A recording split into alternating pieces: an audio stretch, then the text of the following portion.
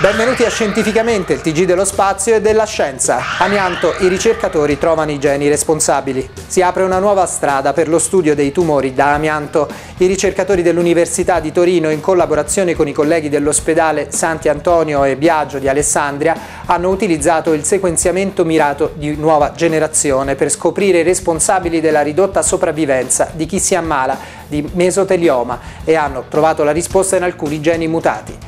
In seguito a questa scoperta è possibile descrivere il tipo, la posizione e il numero di mutazioni genetiche del mesotelioma e consente di identificare associazioni con le caratteristiche del paziente, compresi i dati di sopravvivenza. Lo studio è stato pubblicato sul Journal of Thoracic Oncology.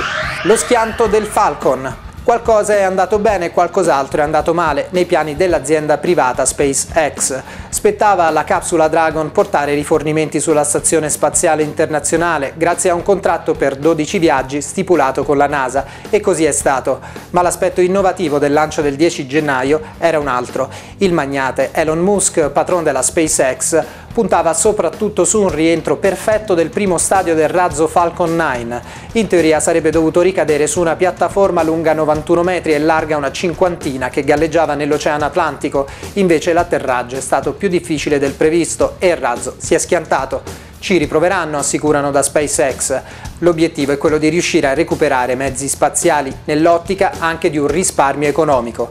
Non è semplice, ma da SpaceX sono convinti di aver individuato ciò che non ha funzionato nell'esaurimento del fluido idraulico poco prima dell'impatto Aumentandolo in teoria la prossima volta tutto dovrebbe filare liscio. La Cina si avvicina di nuovo alla Luna. Il primo atterraggio di un mezzo cinese sulla Luna risale al dicembre del 2013. Oggi il paese del dragone torna in orbita intorno al nostro satellite. Lo fa con una sonda lanciata tre mesi fa dotata di telecamere che hanno il compito di riprendere la superficie lunare con lo scopo di individuare il punto migliore per l'atterraggio della missione Chang'e 5, il cui obiettivo è riportare a terra dei campioni lunari. Questo passaggio è atteso entro il 2017. Se tutto dovesse andare come previsto, la tappa successiva sarebbe il progetto su cui la Cina punta di più, quella di riportare l'uomo a passeggiare sulla Luna. Il ritorno degli astronauti sul satellite è previsto per il 2030.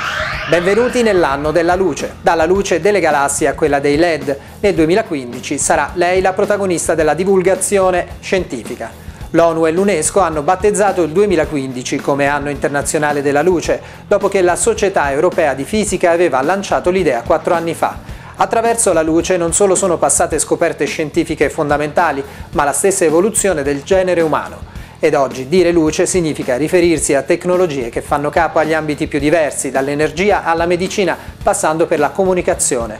Per celebrare questo caposaldo della vita sul pianeta Terra sono stati organizzati eventi in tutto il mondo, L'apertura ufficiale dell'anno in Italia è fissata per il 26 gennaio a Torino. L'appuntamento con le notizie finisce qui, vi salutiamo e vi lasciamo come di consueto allo spazio dedicato all'approfondimento.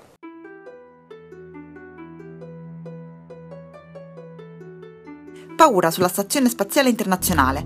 Il 14 gennaio la NASA ha reso noto che a bordo si stava verificando una perdita di ammoniaca nel segmento americano.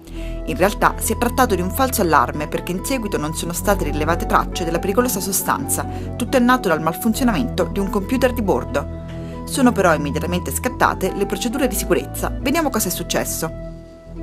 Sono quasi le 10 ora italiana quando si diffonde la notizia di una contaminazione atmosferica da ammoniaca a bordo dell'ISS.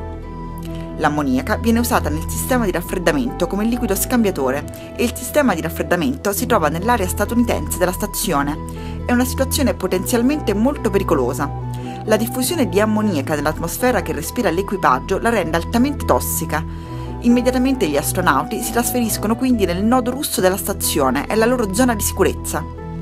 Nonostante a sera fosse poi stato chiarito che la temuta perdita di ammoniaca non si era verificata, gli astronauti hanno comunque passato lì la notte. Questo perché in seguito all'allarme era stato spento il sistema di intermodule ventilation per impedire che si propagasse l'aria avvelenata e così era impossibile ripulire l'aria dall'anidride carbonica rendendola quasi irrespirabile. Lo spiega bene il sito di Astronauti News che ha seguito l'intera giornata di tensione. La preziosa microgravità indispensabile per gli esperimenti scientifici condotti a bordo, in casi come questo, diventa letale. Mentre sulla Terra i gas caldi tendono a salire e quelli freddi a scendere al suolo, sulla stazione questo non succede. Significa che senza ventilazione forzata l'anidride carbonica prodotta dalla respirazione degli umani a bordo si accumulerebbe sui loro visi, facendoli soffocare.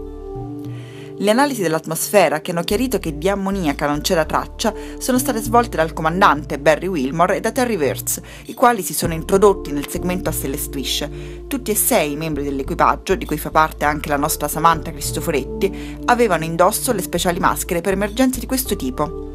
Ce n'è infatti una speciale riservata alle emergenze da fuga di ammoniaca, una delle tre più pericolose che potrebbero capitare a bordo. Fa il punto della situazione il maggiore Luca Parmitano, astronauta italiano, protagonista della missione Volare nel 2013, la prima di lunga durata per l'Italia. È lui che nello spazio è rimasto sei mesi ad elencare i tre momenti di crisi più gravi a bordo, in un'intervista rilasciata al quotidiano La Repubblica.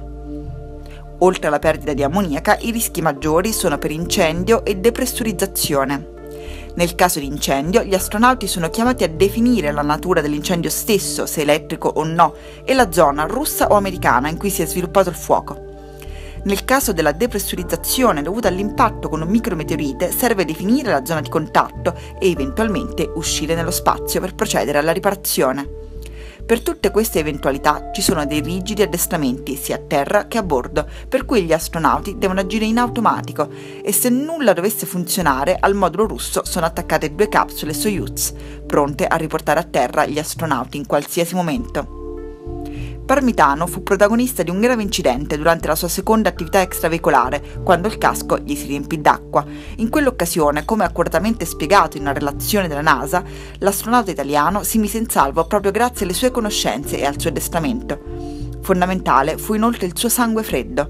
D'altronde, il modo migliore per combattere la paura è essere perfettamente addestrati, sapere sempre cosa fare.